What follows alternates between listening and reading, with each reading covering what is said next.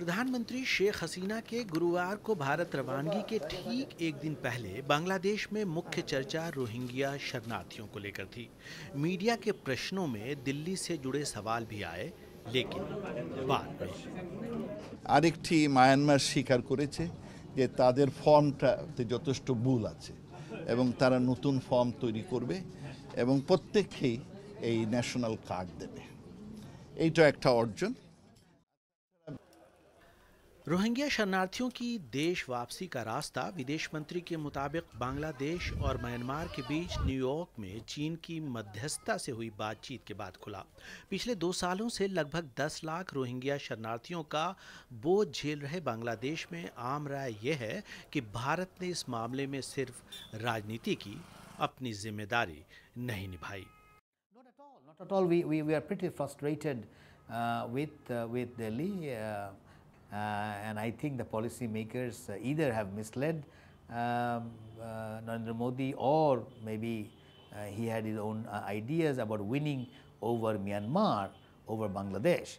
Now, uh, or to win over Myanmar vis-a-vis China. Now,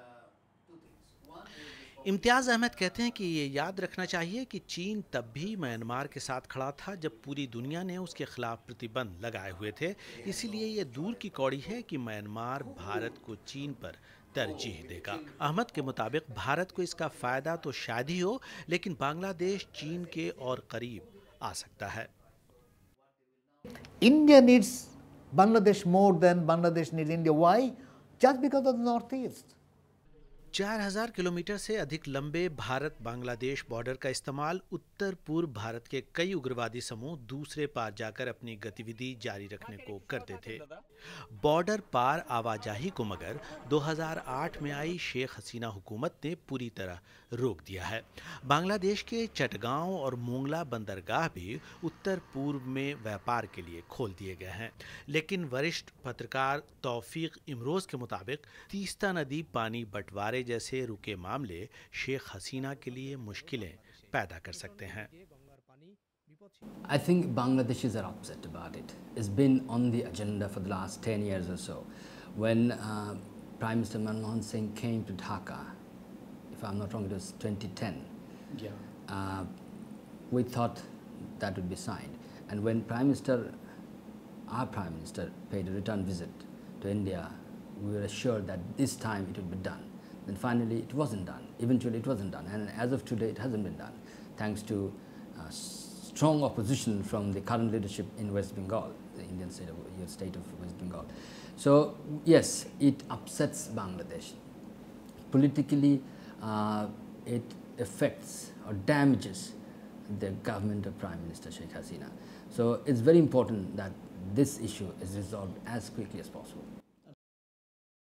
पचास से अधिक नदियाँ दोनों मुल्कों के बीच बहती हैं, लेकिन उन्नीस सौ छियानवे गंगा समझौते के बाद दोनों में पानी के बंटवारे को लेकर कोई समझौता नहीं हो पाया है।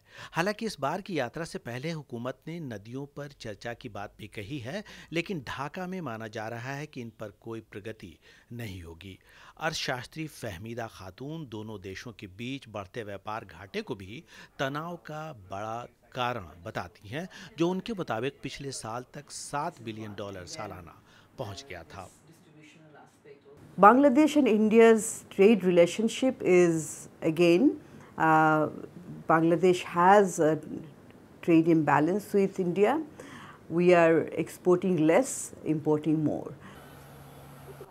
Border के किनारे के इलाकों में एक चिंता जो आजकल बहुत अधिक है, वो है असम में हुए एनआरसी में नागरिकता रजिस्टर से बाहर रह गए लोगों को बांग्लादेश में धकेल दिए जाने की। हालाँकि बांग्लादेशी नेताओं से बातचीत में भारत इसे आंतरिक मामला बताता है, लेकिन गृह मंत्री अमित शाह द्वारा कथित घुसपैठियों को बांग्लादेशी बुलाने से इस मामले पर चिंता और चर्चा कम नहीं हो पा रही। फैसल मोहम्मद अली, बीबीसी, ढाका, बांग्लादेश।